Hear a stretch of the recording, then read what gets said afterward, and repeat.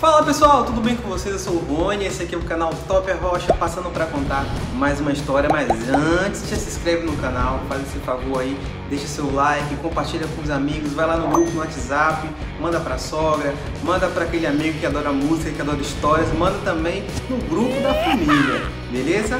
E a história de hoje é da Fenomenal. Mas como assim, Rony? Fenomenal. O adjetivo, ele leva nove letras, que no meio musical é apelido dessa grande artista. O nome dela é Márcia Felipe. A gente vai conhecer um pouco da sua trajetória. Então roda esse vídeo aí. Top a rocha! Hoje nós vamos contar a história de Márcia Raquel Ribeiro Felipe, ou simplesmente Márcia Felipe. Ela é uma cantora, compositora e empresária no ramo do forró eletrônico. Ela nasceu em Manaus, município no Amazonas, em 8 de julho de 1979 filha de Dona Elizabeth e do seu Osmar. Diferente das outras histórias que já contamos por aqui, a Márcia não sonhava em ser cantora quando criança. Ela não sabia a qual profissão seguir, mas quando tomava banho de balde no banheiro da sua casa, sempre soltava sua voz. Gostava tanto de cantar músicas de Marisa Monte, Gal Costa, o seu pai, o seu Osmar Ribeiro, fã da banda Magníficos, parece que previu o futuro da filha mais velha.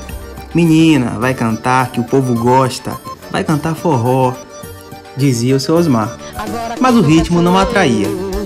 Agora quem não quer sou eu, agora quem não quer sou eu, é o mais novo sucesso. Mas quis o destino colocar o gênero em seu caminho, mas logo você entenderá essa história.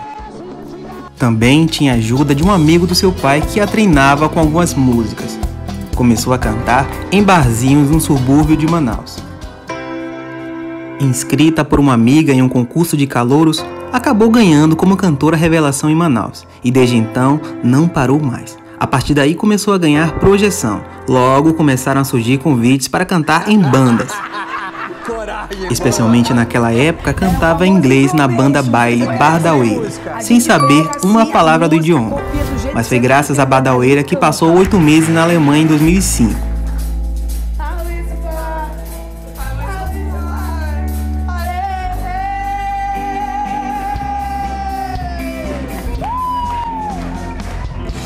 e em seu retorno foi convidada para iniciar na Companhia do Forró, gravando seu primeiro CD na cidade de Fortaleza, onde emplacou o sucesso Locadora de Onda.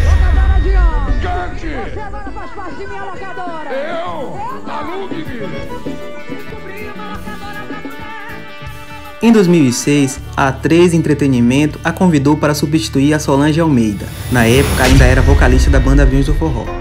A substituição seria por seis meses para a licença maternidade da cantora. Eu queria que vocês recebessem a Márcia com todo carinho, galera do fã-clube que todos os quilômetros Logo, por aviões. ela se mudou para Fortaleza e fez a sua estreia na cidade de Lagar, em Sergipe. O gogó poderoso desta mulher. E aí, galera de Largato!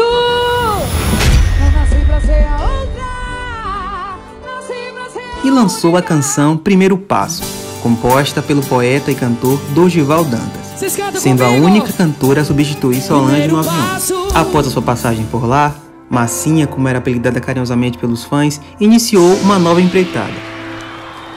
Foi na Furacão do Forró onde lançou hits como Tá Rolando Zum Zum, Por Amor, Drama e entre outros sucessos.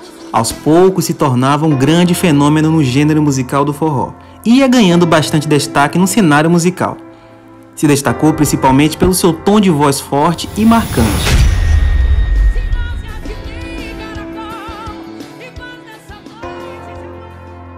Após a sua volta para a Companhia do Forró, dois anos depois, ela emplacou a canção Tentativas em Vão, onde futuramente iria estourar nas vozes dela e de Wesley Safadão na Garota Safada. Não demorou muito para que fosse convidada para integrar os vocais da banda Garota Safada. Ao lado do Safadão, viajou o país com sucessos do CD Forró na Balada.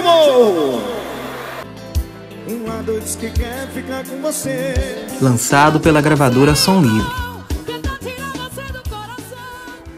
Em 2010, a banda foi ao programa Domingão do Faustão na Rede Globo e fizeram sua estreia nacional. Márcia Felipe, outra voz vem do Wesley Safadão no ar. Garota Safada! Houveram diversas polêmicas e cobranças pelos fãs naquele período. pois a banda não trabalhava sua imagem em programas de TV, apenas a do Wesley Safadão. Márcia Felipe é casada com Rod Bala desde 2010, com quem tem dois filhos, Davi Lucas e Atos Levi. Rod é um dos compositores musicais mais requisitados no gênero, tendo trabalhado com artistas como Wesley Safadão, Calcinha Preta, Saia Rodada, entre outros artistas. A cantora também é mãe de Felipe Mateus, fruto de outro relacionamento. Em 2012, Márcia Felipe deixa a banda Garota Safada para assumir, ao lado de Felipe Lemos, a banda Forró do Moído. Logo após a saída de Simone e Simária, que seguiram em carreira solo. Eu, particularmente, gosto muito da música Quem Ama Não Trai. Márcia deixou a banda Forró do Moído em 2013 e fundou a banda Forró da Curtição, na qual dividia vocais com Bruno Melo por alguns meses. Em 2014, iniciou a sua carreira solo e começou a assinar trabalhos com seu próprio nome, Márcia Felipe, a Fenomenal. Naquele ano, gravou seu primeiro DVD em Teresina e impressionou pelo grande número de público, que marcou presença naquele evento. As canções presentes no álbum se tornaram um sucesso e logo passaram a ser regravadas por várias bandas de forró, como Márcia Felipe Forró da Curtição. Logo, os próximos trabalhos foram assinados apenas com o nome da cantora. Em outubro de 2015, Aracaju foi o palco da gravação do segundo DVD. Intitulado de Márcia Day Off, o trabalho foi gravado na Orla, sobre o pôr do sol. Contou com um cenário deslumbrante. O show também contou com a participação do Wesley Safadão, Léo Santana e Igor Canário. Foi um divisor de água em sua carreira, que claro, a partir dali não seria como antes. Com o lançamento da canção Aqui ou Pro Meu Ex se tornou um sucesso, alcançando o número 15 na Billboard Brasil Hot 100 Airplay. No mês de junho de 2017, a Márcia assina com a gravadora Universal Music, e grava seu terceiro DVD com a banda Forró da Curtição, na cidade de Recife. E nesse projeto se destacam os hits Vai Descendo, Quatro Sorrisos, entre outros. Esse DVD foi lançado no final do ano de 2017. Entre tantos lançamentos, destacamos algumas faixas especiais. E já tocou em diversos paredões. Mexeu comigo, ao lado da Priscila Senna. Deixa eu te fazer feliz, ao lado do Aldair Playboy. E entre outros sucessos. Em outubro de 2018, a Márcia Felipe obteve uma grande ascensão na carreira após lançar o hit Deus Me Livre Quem Me Dera. O trecho virou um bordão nas redes sociais. A música também conta com mais de 300 milhões de visualizações no YouTube e em outros milhares de plays nas principais plataformas de áudio. A música tem a participação do cantor Jerry Smith. No final do ano, lançou Made in Studio, que foi dividido em duas partes, que também teve participação de Ferrugem, Xande Avião, MC Mirella, Gustavo Lima e Dilcinho. Trabalhos que puderam render participações em diversos programas em rede nacional, como Encontro com Fátima, Jogo do Banquinho e o Ding Dong no Faustão. Em janeiro de 2020, reuniu a imprensa e convidados em São Paulo para falar do seu novo repertório, Piseiro, Churrasco e Paredão. O projeto conta com músicas inéditas e reúne participações especiais.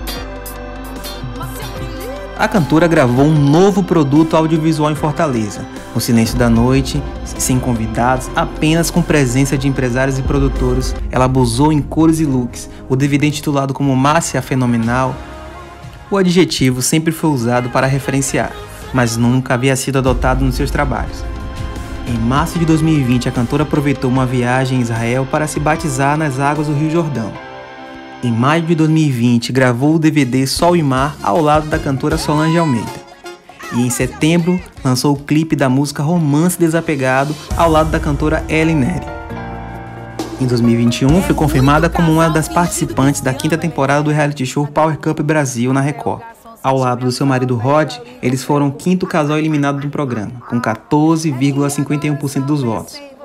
Márcia, sabendo que estaria confinada, não deixou seu público sem lançamentos. Então, no dia 30 do 7, lançou a canção Adeus Bye Bye com a participação de Tarcísio do Acordeon, que ficou no top 200 no Spotify.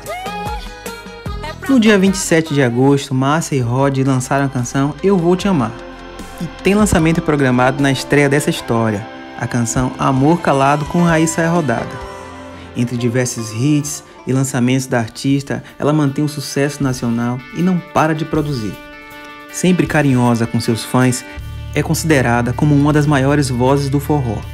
Com mais de 2 milhões de ouvintes no Spotify e seus vídeos no YouTube somam mais de um bilhão de visualizações, e essa foi a história de Márcia Felipe, a fenomenal. Estamos chegando ao final de mais um vídeo. Não esquece de clicar nos cards aqui do lado para ver as outras histórias, por onde anda. Ah, se inscreve no canal também e ativa o sininho também para YouTube entregar para você o nosso conteúdo, os próximos vídeos, para você não perder nenhuma história. Valeu, até a próxima. Fui!